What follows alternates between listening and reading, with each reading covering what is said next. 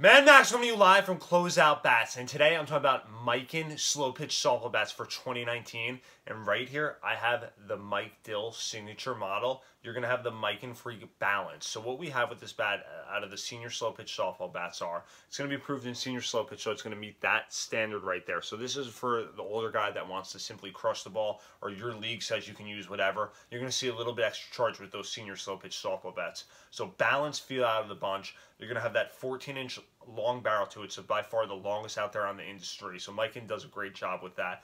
Uh, we like the feel to this bat. We like the colorway to it. So this is a great looking bat as well. Um, and, and, what Miken has done with the senior slow pitch softball bats are uh, that market is huge. There's a lot of guys that obviously have retired. They're playing.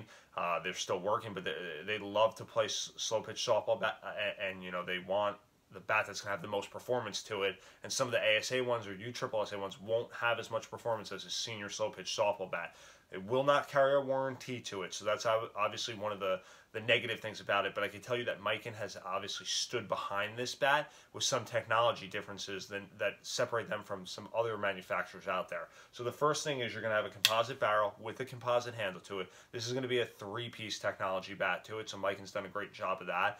And then what you're going to also have is you're going to have a triple matrix kind of core technology to it. So that's going to any wall seams out of this that are going to be kind of um, that could uh, create crackage. So that's something that we've seen happen with a lot of these senior slow pitch softball bats. They're hot as anything.